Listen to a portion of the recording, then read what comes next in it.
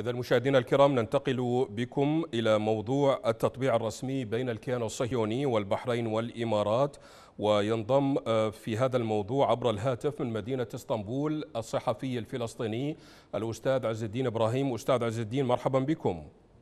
حياكم الله. أهلا وسهلا. أستاذ عز الدين برعاية أمريكية تطبيع رسمي بين الكيان الصهيوني والبحرين والإمارات، بداية كيف يمكن قراءة هذه الخطوة وتأثيراتها على القضية الفلسطينية القضية المركزية للأمة العربية؟ يعني بداية هذه نستطيع أن نسميها اتفاقية انتخابية. نعم. وليست اتفاقية سلام واتفاقية تطبيع علاقات. باختصار الإمارات ومن مثل فيها هي مجرد أدوات أو تحولت مجرد أدوات انتخابية في المعركة الانتخابية التي يخوضها الرئيس الأمريكي ترامب والذي أظهرت آخر الاستطلاعات أن يعني جو بايدن يتفوق عليه في آخر الاستطلاعات نعم. ونتنياهو الذي يعني يستعد لانتخابات جديدة والمحاصر أصلا بقضايا فساد ومصيره السياسي مرهون بما يمكن أن يقدمه للجمهور الإسرائيلي. فبالتالي نحن أمام اتفاق يمثل طاقة فرج إن صح التعبير للرئيس الأمريكي دونالد ترامب. ولرئيس الكيان الصهيوني نتنياهو. هذا الاتفاق لن يعود بأي خير على الأمة العربية والإسلامية. عوضا عن أنه يعني طعنه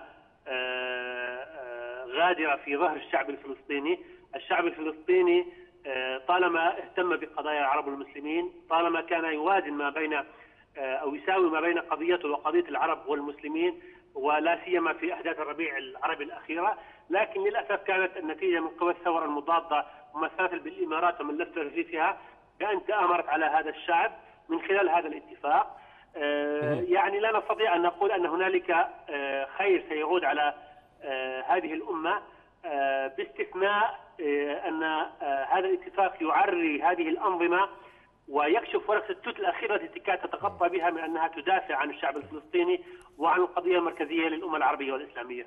نعم. مشاهدينا الكرام نود أن ننوه إلى أننا انتقلنا بكم من الأخبار العراقية في جولة العراق اليوم إلى الأخبار العربية وهي القضية المهمة قضية التطبيع بين بعض الدول العربية والكيان الصهيوني. أستاذ عز الدين صحيفة ليبراسيون الفرنسية تقول في موضوع اتفاقية التطبيع بين أبو ظبي وتل أبيب على بشكل حصري لن تضمن الحماية من تهديدات إيران. إذا لماذا هذه الهرولة العربية للتطبيع مع الاحتلال الصهيوني؟ كما قلت لك سيدي م. الذي وضع شروط هذه الاتفاقية هو نتنياهو وترامب. نعم. نتنياهو وترامب آخر ما يسأل عنه هو الأمن القومي العربي. إذا كان الإيرانيون صادقون في شيء فهم صادقون بأن هذه الاتفاقية لن تحمي دول الخليج من من إيران وإلا لكانت حمتها الولايات المتحدة نفسها، الولايات المتحدة التي تمتلك الاساطيل العسكرية التي تحوم البحار. يعني لم تستطع أن تؤمن الحمايه لهذه الدول وتحديدا الإمارات التي عندما حاولت أن تتجاوز الخطوط الحمراء فيما يتعلق بدورها في اليمن تلقت رسالة إيرانية شديدة اللهجة فتراجعت عدة خطوات إلى الوراء وسوت أمورها مع الإيرانيين وتركت السعودية لوحدها تواجه مصيرها. نعم. فبالتالي هذه الاتفاقيه لن تؤمن الحماية لا للإمارات ولا لدول الخليج مجتمعة. هذه الاتفاقية هي كما أسلفت هي طاقة فرج و يد مساعدة لترامب ونتنياهو في معاركهم الداخلية. ترامب بحاجة لأن يقدم أي شيء للجمهور الأمريكي على أنه حققه في الفترة الأخيرة. يريد أن يرضي الزوب اليهودي في الولايات المتحدة. نتنياهو كذلك الذي يحاصر بملفات فساد ومصيره السياسي على المحك. بحاجة لأن يقدم للجمهور الإسرائيلي أي إنجاز وبالتالي نعم. هذه الاتفاقية لا لن تقدم شيء للحقوق الفلسطينية بالطبع ولن تحمي دول الخليج من أي تهديد سواء كان ايرانيا أو غيره لكن ولكن ولكن ولكن أستاذ عز الدين يعني وزير الخارجية الإماراتي يقول في تصريح له إن الهدف من معاهدات السلام هو العمل من أجل استقرار المنطقة وأيضا يقول كل خيار غير السلام سيعني الدمار والفقر والمعاناة الإنسانية. كيف يمكن الرد على هذا التصريح؟ يعني الحفاظ على استقرار المنطقة لا يتم من خلال تمكين الكيان الصهيوني بمناطق نفوذ جديدة. الكيان الصهيوني هو أصل الشرور في المنطقة. نعم نختلف مع إيران ولدينا مشاكل كبيرة مع إيران لكن لا يمكن مقارنة إيران بالخطر الصهيوني. الاحتلال والكيان الصهيوني هو أصل الشرور في المنطقة. لا لن يتحقق السلام ولن يتحقق الاستقرار في المنطقة بتمكين هذا الاحتلال من مزيد من مناطق النفوذ. الإمارات تكذب على نفسها عندما تقول أنها تحاول أن آه، تجلب السلام. لو كانت الإمارات حريصة على ذلك لما شاركت في الحرب المدمرة باليمن ولما فعلت الأفاعيل في عدة دول عربية وشاركت في هدمها وشن آه، ثورات مضادة على خيارات الشعوب التي آه، خرجت من اجله في كل من سوريا ومصر وغيرها من البلاد، فبالتالي هذه أكذوبة لا يمكن أن تنطلي على أي أحد من الشعوب العربية. طيب أستاذ عز الدين آه، آه، في تصريح لنتنياهو وترامب قالا إن هناك المزيد من الدول في المنطقة آه، يعني ربما ستنضم إلى قائمة الدول المطبعة مع الكيان الصهيوني هل سنشهد في الأيام المقبلة وربما الأسابيع تحالفات عسكرية تقودها تل أبيب في المنطقة؟ ربما يكون صحيح لأن نحن لسنا حاليا لسنا أمام اتفاقيات سلام بقدر ما هو تشكيل ناتو عربي جديد بقياده الاحتلال الصهيوني الإدارة الأمريكية ومن خلفها آه، دولة الاحتلال تسعى نعم. لتشكيل هذا الحلف والمؤشرات واضحة يعني لا لن نستغرب يعني كما لم نستغرب من دخول الإمارات والبحرين لن نستغرب أيضا من دخول دول كبيرة وربما محورية إن صح التعبير في اتفاقيات جديدة لأن ببساطة هذه الدول تفتقد الإدارة عفوا تفتقد الإرادة الحقيقية. هي مجرد أدوات تنفذ ما يطلبه ترامب. نعلم جميعا كيف أن ترامب وعلى الهواء مباشرة كان يعني يتفاخر أمام آه، جمهوره الانتخابي بأنه فقط يطلب الدفع والاموال من هذه الدولة أو تلك فتنفذ أوامره فهذه الدول فاقدة للإرادة فاقدة للتمثيل الشعبي وبالتالي هي مجرد أدوات تنفذ ما يخطط له نتنياهو ويستخدم ترامب لتنفيذه.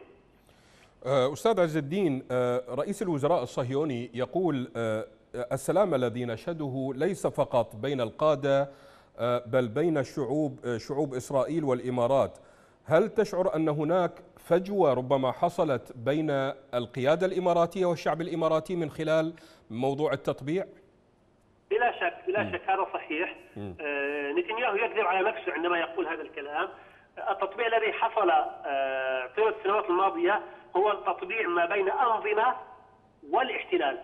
وخير دليل على ذلك ما حدث في مصر سبيل المثال. بالضبط. الآن في الأردن ومصر آه، التطبيع توقف عند الشعوب وكذلك في الإمارات والبحرين. ورأينا على سبيل المثال كيف هب الشعب البحريني أمس وأول أمس سواء على الأرض أو حتى على وسائل التواصل الاجتماعي. وكذلك الشعب الإماراتي في رفض هذه الاتفاقية، الشعب الإماراتي ربما له وضعية خاصة بسبب القبضة الأمنية التي تضرب بها السلطات الإماراتية وتمنع أي تعبير عن رايه، فبالتالي يعني ربما يكون هناك وضع يختلف لكن في البحرين شاهدنا كيف كانت ردة الفعل من خلال الشعب البحريني في رفض هذه الاتفاقيات.